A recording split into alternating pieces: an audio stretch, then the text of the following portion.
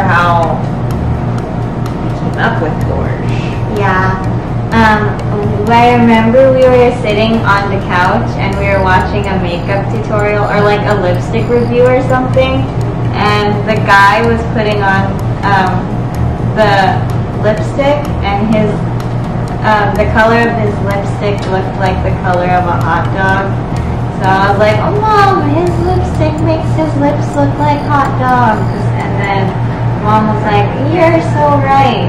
And then I was like, mom was like, is there something like that out there? Like um, A hot dog lipstick. Yeah, like a makeup There has to be a hot dog lipstick out there. Yeah. There has to be. like there wasn't anything.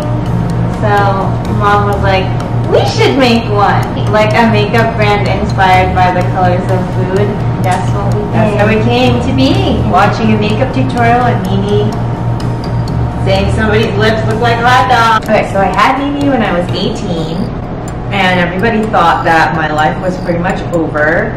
But I was really determined, and so I went back to school.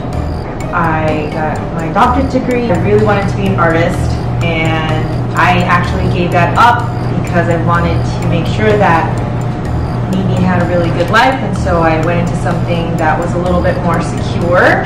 Deep down inside, I really wanted to do something in art, so you know that's how me, Mimi and I actually bonded because we watched a lot of makeup tutorials together, and we actually love food, so we bond a lot over mukbang. Mukbang? It's almost like I had to have had Mimi in order for this to happen because if I if she didn't say that and if she didn't say somebody's lips looks like hot dog, then this never would have happened.